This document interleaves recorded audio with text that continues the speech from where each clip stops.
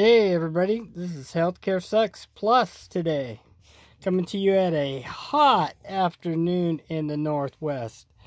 With temperatures up to 100 degrees somewhere today. That is bacon. I mean literally bacon for the Oregon coast and Washington up there. I think they're having about the same up there.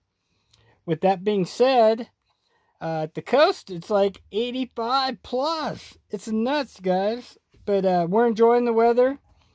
Uh, got the old slip it slide out and an old pool for the kids to flip around in. Dogs got their pool. Everybody's happy. We're barbecuing. And with that being said, we'll get to the point of the news today is 31 minutes ago, a 6.6 earthquake, 6.2 miles deep on the South Sandwich Islands region hit which is pretty good. We have been kind of putting around, and then we went into fives. Now we're at sixes, and I'd say high sixes. Then, right afterwards, uh, approximately 15, 20 minutes ago, we had a 6.8, which followed the 6.6, 137 km south of Bristol Islands, which is also South Sandwich Islands region. So with that being said, we're almost at seven now. So when they start bouncing over there, we got to watch over here, guys. So we're having a great time.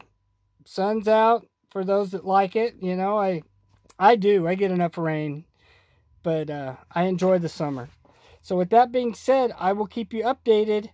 And as always, have a great time. And healthcare sucks. And it's getting worse, guys.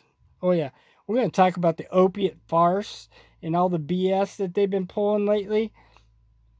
Oh, this this just getting more and more ridiculous by the minute. More and more money Trump trumped it in to the states, and the states are actually taking it, using it on the stock market.